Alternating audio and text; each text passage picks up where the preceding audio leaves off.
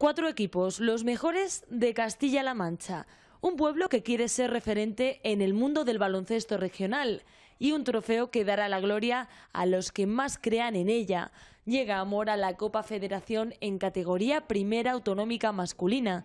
Específicamente serán los días 8 y 9 de febrero cuando los cuatro equipos se enfrenten en el formato Final Four, un evento por el que ha luchado mucho el equipo de gobierno moracho.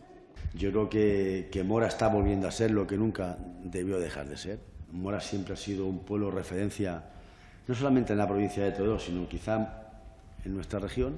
Está dentro de la política de nuestro equipo de gobierno, de que Mora sea un referente dentro del deporte, tanto provincial como autonómico, y por supuesto traer a Mora un evento de este tipo eh, a nivel de Castilla-La Mancha pues es un, es un verdadero honor. Pero este sueño no hubiera sido posible sin la apuesta de la Federación Regional de Baloncesto.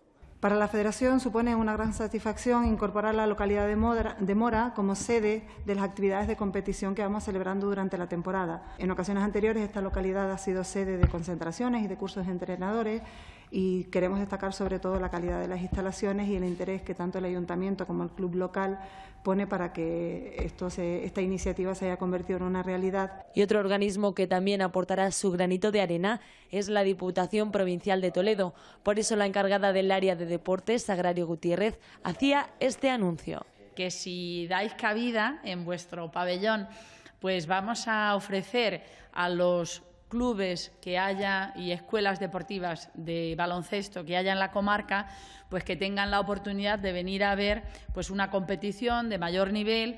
Porque la Copa Federación quiere no solo hacer disfrutar a la afición, sino también crear un efecto llamada entre los más jóvenes, las futuras figuras del baloncesto en la región.